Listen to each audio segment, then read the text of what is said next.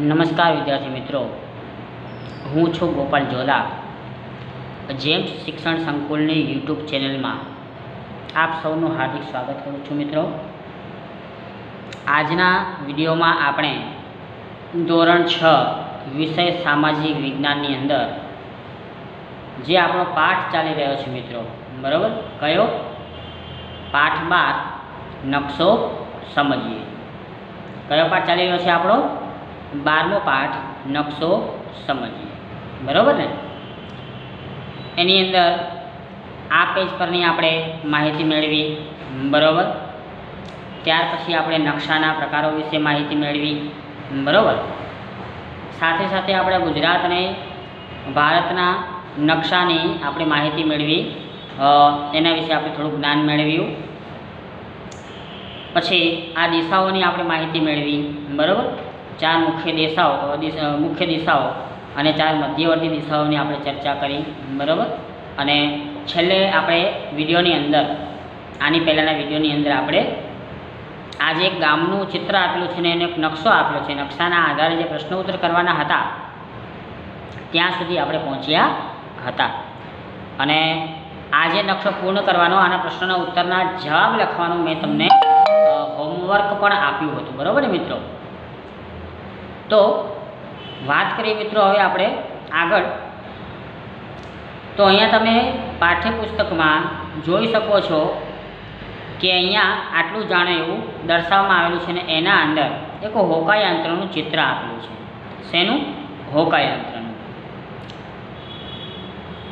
તમને બધાને ખ્યાલ હશે મિત્રો કે હોકાયંત્ર એ દિશા જાણવા માટે વપરાતું સાધન છે. શેનું સાધન છે? તો દિશા વપરાવા માટેનું દિશા જાણવા માટે જે સાધનનો ઉપયોગ થાય છે ને, એ આ હોકાયંત્ર. તો વાત કરીએ હોકાયંત્ર અને એની રચનાની, તો ચુંબકના ગુણધર્મને આધારે વિકસાવવામાં આવેલ સાધનને હોકાયંત્ર કહે છે. આ હોકાયંત્રની વ્યાખ્યા, બરાબર? આ હોકાયંત્રની શું થઈ મિત્રો? વ્યાખ્યા થઈ અહીંયાથી કરી અને અહીંયા. કે ચુંબકના ગુણધર્મને આધારે વિકસાવવામાં આવેલ સાધનને હોકાયંત્ર કહે છે. હોકાયંત્ર કાચથી ઢંકાયેલું બોક્સની અંદર એક ચુંબકીય સોય ધરી પર રાખેલી હોય છે, જે મુક્ત રીતે ફરી શકે છે. આ અંદર તમે જોઈ શકો છો એક ચુંબકીય સોય છે. એને અહીંયા ફિટ કરેલી છે ગોઠવેલી છે, જે મુક્ત રીતે આ ચક્રની અંદર ફરી શકે છે. સોય ઉપર એન અને એસ દર્શાવેલો હોય છે. તમે અહીંયા જે સોય જે છે, એમાં એન અને એસ અહીંયા આ છેડે, જે છેડો ઉત્તર દિશામાં ઉત્તર ધ્રુવ હોય, ત્યાં એન અને જે દિશો, જે છેડો દક્ષિણ ધ્રુવ હોય, ત્યાં એસ દર્શાવેલ હોય છે. હોકાયંત્રનો ઉપયોગ વાહન, સ્ટીમર, સબમરીન, પછી વિમાન વગેરેમાં દિશા નિર્ધારણ માટે થાય છે. દિશા નિર્ધારણ એટલે કે દિશા જાણવા માટે. તો ભાઈ ઘણા એવા હોય છે કે જે વાહનની અંદર દરિયા ખેડૂત જે કહેવાય, દરિયામાં લાંબી લાંબી મુસાફરી કરતા હોય છે. બરાબર? હવે મધ્ય દરિયાની વચ્ચે પહોંચે ત્યારે, અને એમાં પણ રાત્રિનો સમય હોય, અંધકારનો સમય હોય મિત્રો, ત્યારે દિશા જાણવી ખૂબ જ મુશ્કેલ બને છે. ચારે બાજુ નકરું પાણી જ પાણી હોય, દિશાની કોઈ જાણકારી હોય નહીં. દિવસે તો કદાચ, દિવસે તો કદાચ એવું કહી શકાય કે સૂર્યપ્રકાશ જે હોય, તો સૂર્યપ્રકાશ એમને જોવા મળતો હોય તો તેના ઉપરથી એ બાકીની ત્રણ દિશા મતલબ કે જાણી શકે છે. પરંતુ રાત્રિના સમય તો સૂર્ય પણ જોવા ન મળે મિત્રો. અને એકદમ અંધારું હોય મધ્યદરિયાની અંદર ત્યારે દિશા જાણવા માટે એમને આ હોકાયંત્ર જે છે ને, એ ખૂબ જ ઉપયોગી સાબિત થાય છે. આગળ વાત કરીએ આપણે મિત્રો. પ્રમાણ માપની. તો પૃથ્વી ઉપરના કોઈપણ બે સ્થળ વચ્ચેનું અંતર અને તે બંને સ્થળોના નકશા ઉપરના અંતર વચ્ચેના ગુણોત્તરને પ્રમાણ માપ કહે છે. શું કહે છે મિત્રો? પ્રમાણ માપ કહે છે. આ ધ્યાન રાખજો પ્રમાણ માપની વ્યાખ્યા. ફરીથી હું વાંચું છું. ફરીથી ધ્યાન રાખજો મિત્રો કે પૃથ્વી ઉપરના કોઈપણ બે સ્થળ વચ્ચેનું અંતર અને તે બંને સ્થળોના નકશા ઉપરના અંતર વચ્ચેના ગુણોત્તરને પ્રમાણ માપ કહે છે. પ્રમાણમાં એક સેમી જેમ સો કિલોમીટર હોય એટલે કે નકશામાં દર્શાવેલ એક સેન્ટીમીટર વાસ્તવિક પૃથ્વી પરનું અંતર સો કિલોમીટર છે, એવું જાણ. અંતર દોરી કે માપપટ્ટીની મદદથી શોધી શકાય છે. અંતરની વાત કરીએ તે દોરી, જે દોરી આવે એનાથી કે માપપટ્ટી એની મદદથી જાણી શકાય છે. હવે આગળ જે આપણે નકશો ઓળખવા માટે, નકશા જાણવા માટેના જે અંગો જે હતા, એમાંનું એક અંગ મિત્રો આપણે રૂઢ સંજ્ઞાઓ છે. બરાબર? એનું અંગ આપણે જોયું કે દિશા જે છે પ્રમાણમાં છે, એવી રીતે એક નકશાઓનું અંગ જે છે આપણે કહેવાય. તો એ રૂઢ સંજ્ઞાઓ છે, તો જોઈએ એમાં. તો અહીંયા કહે છે કે વિદ્યાર્થી મિત્રો, તમે ઘરેથી શાળાએ આવો છો ત્યારે કેટલીક વિશિષ્ટ કેટલાક વિશિષ્ટ ચિહ્નો કે પ્રતીકોનું અવલોકન કર્યું હશે. નીચે આપેલ કોષ્ટકમાં તમે જોયેલા ચિહ્નો દોરો અને તેની વર્ગખંડમાં ચર્ચા કરો. તો અહીંયા એક તમને ત્રણેક ચિહ્ન આપેલા છે. તમે એને ઓળખી જશો. તમને ખબર પણ હશે ક્યાં જોવા મળે છે. તો મિત્રો, આવું રેડ ક્રોસ જે કહેવાય, એનું ચિહ્ન તમને ક્યાં જોવા મળે છે? ક્યાં? હોસ્પિટલમાં. બરાબર? પછી આવું ચિહ્ન તમને ક્યાં જોવા મળશે? તો પેટ્રોલ પંપે. અને આ ચિહ્નનો મતલબ શું? તો હોર્ન વગાડવું નહીં. નો હોર્ન એટલે આ જે બધા ચિહ્નો છે ને, એને એક પ્રકારની રોડ સંજ્ઞાઓ કહેવાય. શું કહેવાય મિત્રો? રોડ સંજ્ઞાઓ કહેવાય. આગળ જોઈએ આપણે. તો નકશામાં જુદી જુદી પ્રાકૃતિક અને સાંસ્કૃતિક વિગતો દર્શાવવા કેટલાક વિશિષ્ટ ચિહ્નોનો ઉપયોગ થાય છે. તેને રૂઢ સંજ્ઞાઓ કહે છે. ધ્યાન રાખજો મિત્રો. રૂઢ સંજ્ઞાઓની વ્યાખ્યા. કે નકશામાં જુદી જુદી પ્રાકૃતિક અને સાંસ્કૃતિક વિગતો દર્શાવવા કેટલાક વિશિષ્ટ ચિહ્નોનો ઉપયોગ થાય છે, તેને રૂઢ સંજ્ઞાઓ કહે છે. નકશામાં રૂઢ સંજ્ઞાઓ દર્શાવવા માટે નિશ્ચિત અક્ષરો, છાયા પ્રકાશ, રંગો, ચિત્રો અને રેખાઓનો ઉપયોગ કરવામાં આવે છે. આ રૂઢ સંજ્ઞાઓની મદદથી પ્રાકૃતિક અને સાંસ્કૃતિક વિગતો સરળતાથી દર્શાવી શકાય છે. નકશાની રૂઢ સંજ્ઞાઓની ભાષા કે ચિહ્નો સરળ અને સર્વમાન્ય ભાષા છે, એટલે બધાને એ માન્ય રાખવું પડે. આ ચિહ્નો સંદર્ભે આંતરરાષ્ટ્રીય સમજૂતી હોવાથી નકશાઓમાં રૂટ સંજ્ઞાઓનો ઉપયોગ થાય છે. અહીંયા નીચે આપણે કોષ્ટકમાં રૂઢ સંજ્ઞાઓનું અવલોકન કરો અને તમારા શિક્ષકની મદદથી સમજો મિત્રો, તો અહીંયા આપણને જે રૂઢ સંજ્ઞાઓ આપેલી છે, સામે એ બાબત આપેલી છે. બરાબર? તો એમાં આપણે એક નજર મેળવી લઈએ, એને આપણે સમજી લઈએ. તો તમે અહીંયા કોષ્ટકમાં જોઈ શકો છો, આ તરફે બાબત આપેલી છે અને આ બાજુ તમને આપેલી છે સંજ્ઞાઓ, રૂઢ સંજ્ઞાઓ, બરાબર? તો જોઈએ તો પર્વત પર્વત દર્શાવવો હોય તો મિત્રો આ રીતની સંજ્ઞા હોવી જોઈએ. ટેકરી દર્શાવી હોય તો આ રીતની સંજ્ઞા તમારે દર્શાવવાની છે નકશામાં. શિખર દર્શાવવું છે તો આ રીતનું હોવું જોઈએ. ઘાટ માટે આ રીતનું તમારે હોવું જોઈએ. નદી માટે આ રીતનું, બરાબર? નદીઓનો સંગમ, બે ત્રણ નદીઓ મળતી હોય તો આ રીતનું ચિહ્ન દર્શાવવાનું. નદી પરનો બંધ તો નદી છે આ એના ઉપરનો બંધ દર્શાવે છે. પાકો માર્ગ તો આ જે ચિહ્ન જે દર્શાવે છે ને એ પાકા માર્ગનું છે. રેલ માર્ગ આ રીતનું ક્રોસિંગવાળું તમે જોઈ શકો છો ચિહ્ન, એટલે રેલ માર્ગ. દેવાદાંડી, આ રીતનું હોય નિશાન, એટલે દેવાદાંડી. પોસ્ટ ઓફિસ એટલે પી ઓ લખેલું હોય. સરખી હાઉસ એટલે સી એચ બરાબર? આગળ. નકશાની ઉત્તર દિશા, એટલે આ રીતનું ચિહ્ન હોય અને ઉપર ઉ લખેલું હોય.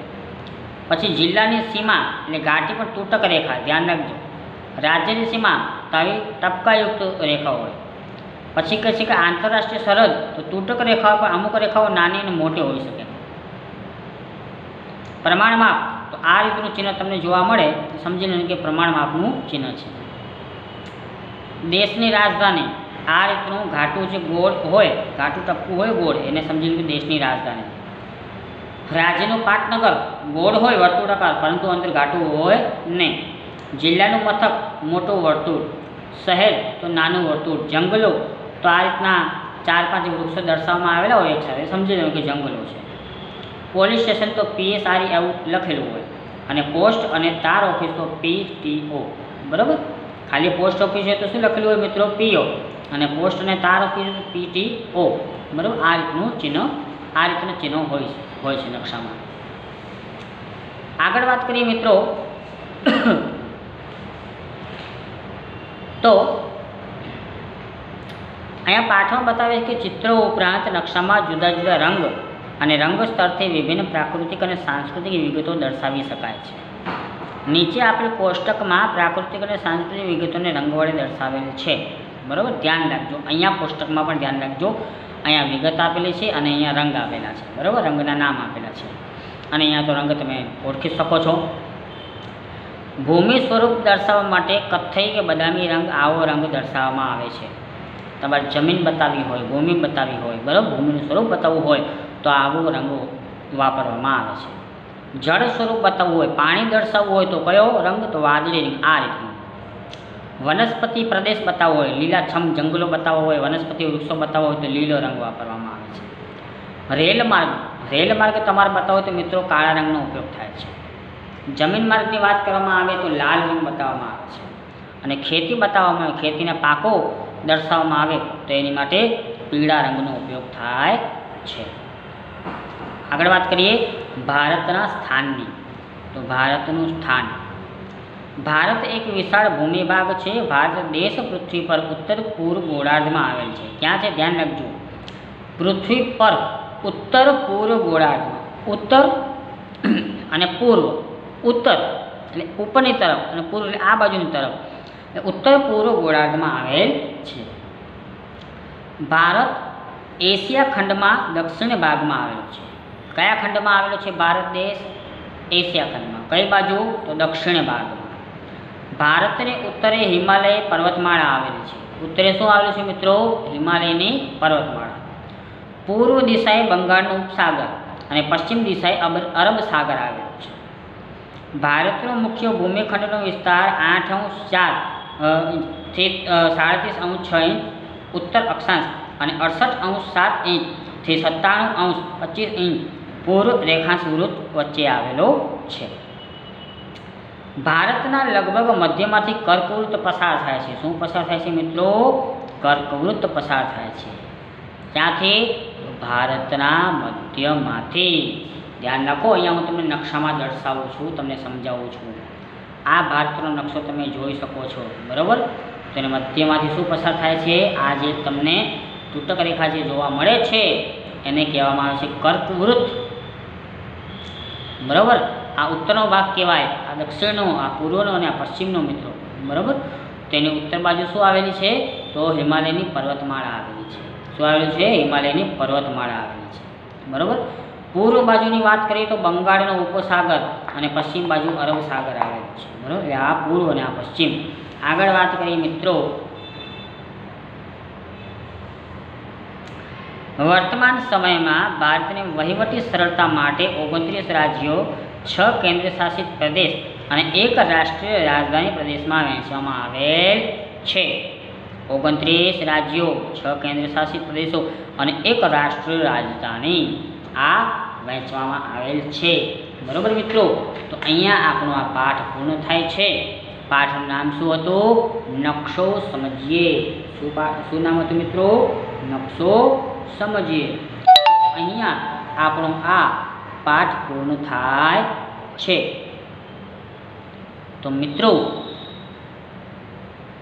આગળ વાત કરીએ હવે હોમવર્કની તો અહીંયા તમને સરસ મજાનું અને સુંદર સ્વાધ્યાય આપેલું છે. આપેલું છે ને મિત્રો? સરસ. તો આ સ્વાધ્યાય જે છે, તેને તમારે આ પાઠના હોમવર્ક તરીકે લખવાનું છે. આ વિડીયોના હોમવર્ક તરીકે તમારે જે સામાજિક વિજ્ઞાનની તમે નોટબુક બનાવી છે ને મિત્રો, એના અંદર તમારે આ પાઠનું સ્વાધ્યાય સુંદર અને સારા અક્ષરે લખી નાખવાનું છે. બરાબર મિત્રો? તો અહીંયા આપણો આ પાઠ પૂર્ણ થાય છે અને આ વીડિયો પણ આપણે સમાપ્ત કરીએ છીએ. તો મિત્રો, નવા વિડીયોની અંદર આપણે નવા પાઠ સાથે મળીશું. બરાબર? નવો પાઠ લઈને આપણે નવા વિડીયોમાં મળીશું. ત્યાં સુધી મિત્રો, આ વિડીયોના માધ્યમ દ્વારા, ઓનલાઈન શિક્ષણના માધ્યમ દ્વારા, જે તમે અભ્યાસ કરી રહ્યા છો, એમાં તમે પૂરતું ધ્યાન આપજો, તબિયતનું ધ્યાન રાખજો અને સારો એવો અભ્યાસ કરજો. જય શ્રી કૃષ્ણ.